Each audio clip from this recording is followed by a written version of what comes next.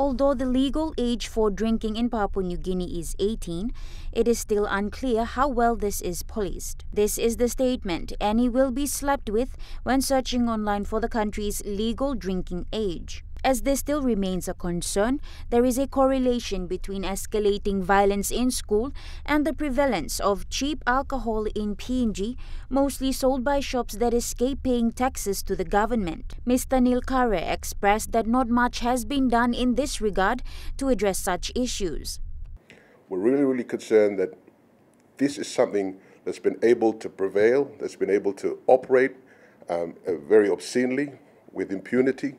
Uh, we've, on many occasions, we've, we've um, let's say, we've uh, engaged with uh, law enforcement agencies, PNG Customs, all the government authorities that are supposed to address this issue.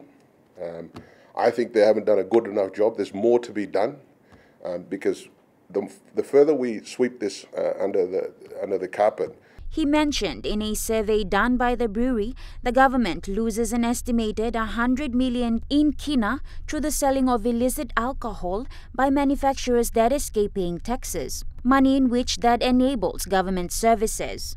Not paying their taxes, companies that are not doing the right thing in PNG shouldn't be able to operate. I mean, it's as simple as that.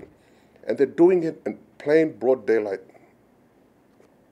in all of the stores uh, that range alcohol. This had also resulted in beer sold in shops becoming unaffordable as registered manufacturers of liquor are being burdened with tax. This further encourages alcohol consumers to go cheap than legal, endangering themselves in the process as illicit alcohol is unregulated and poses a greater threat. Mr. Nilkare appealed to the government and responsible authorities to step up and address the issue. So, you know, I encourage our leaders, our regulators, um, our legislators to do more.